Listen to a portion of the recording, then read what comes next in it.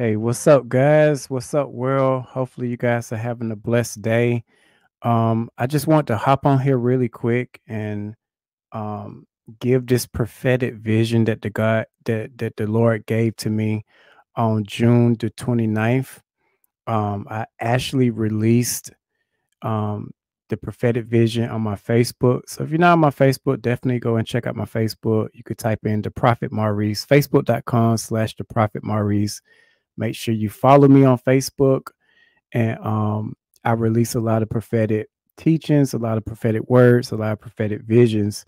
But I just wanted to get on here and really uh, speak about it and re release it through YouTube and many other platforms wherever this video lands. All glory be to God. Um, so, guys, I'm going to dive right into it. Like I said, it's already written out on my Facebook. So, I'm just going to basically read from my Facebook right now. So I titled this vision A Wall of Water. And what do I mean by this? Uh, it was a wall, kind of like the Great Wall of China. It was a wall that was created by water, like literally like a water of wall standing up. Okay. So as I was in the place of prayer, the Lord started to give me a vision. In this vision, I saw a huge wall, almost like the Great Wall of China. The wall was solid, but it was made of water. I saw people under all sides of the water. So it was like a left and the right side of the wall, guys. And I seen people on both sides. Then I saw a lightning strike come from heaven the lightning struck the wall of water, and the water fell amongst the people. Okay. So envision this. I want you to envision this as I'm speaking about this. The wall of water is struck by lightning. So you know this is supernatural, right? as the water fell on people, I saw scales fall off of their eyes. I began to see people shout and rejoice. I saw people come out of wheelchairs as the water fell upon them. The Spirit of the Lord began to minister to me at this point. So, this is what He ministered to me.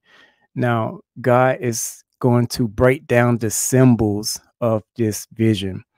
The water represents His living water, the people represented His believers. Remember, it was people on both sides the left side of the wall and the right side of the wall. So the people represented his believers. So these was believers. Um, however, the believers' beliefs had created a religious wall. Inside this huge religious wall, the living waters of Jesus was being trapped. So let me pause right here.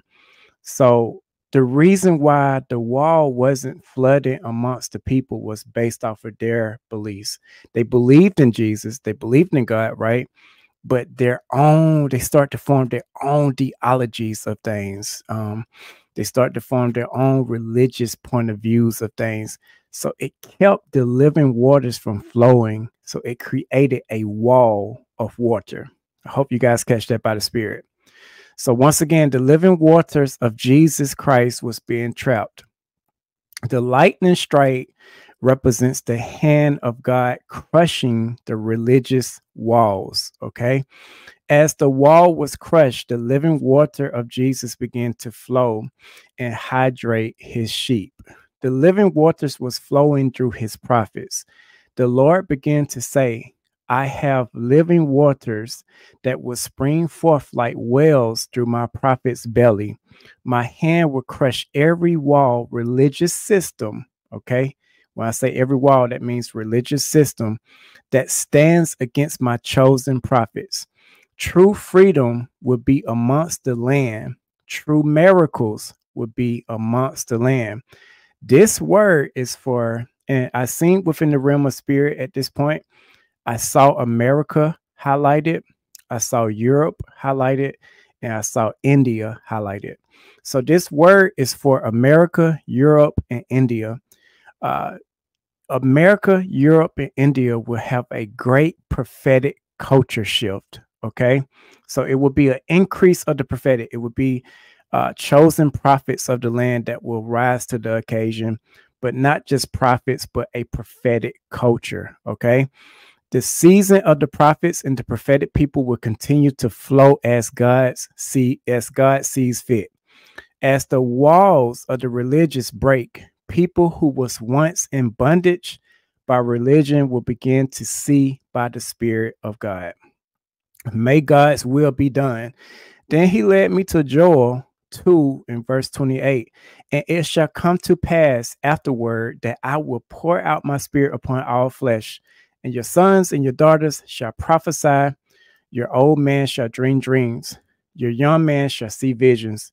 So, what he's speaking about in Joel right here is a prophetic culture that's going to begin to rise. So, I prophesy right now in the mighty name of Jesus by the Spirit of God that it will be a strong prophetic culture that rise from America, Europe, and India. Those are the places that was highlighted to me, but I believe that it's going to be all over the place.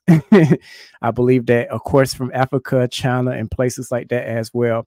But what was highlighted to me uh, on, on June 29th was America, Europe, and India. So, America, I prophesied that America, Europe, and India will see a strong prophetic shift, that it will be prophets in the land that will shift the culture, that will shift, that will um, groom the prophetic voices. Because not everybody is a prophet, but will groom the prophetic voices to come forth uh, within the body of Christ and then that's when we we will begin to see amazing miracle signs and wonders. Um, we will begin to see people eyes be open. Remember, in this dream, I saw scales come off of people's eyes, and that's when true deliverance and that's when true freedom will take place.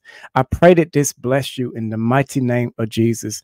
If this is a confirmational word for you, drop a big confirmation below. I would love to hear from you. God bless you in the mighty name of Jesus.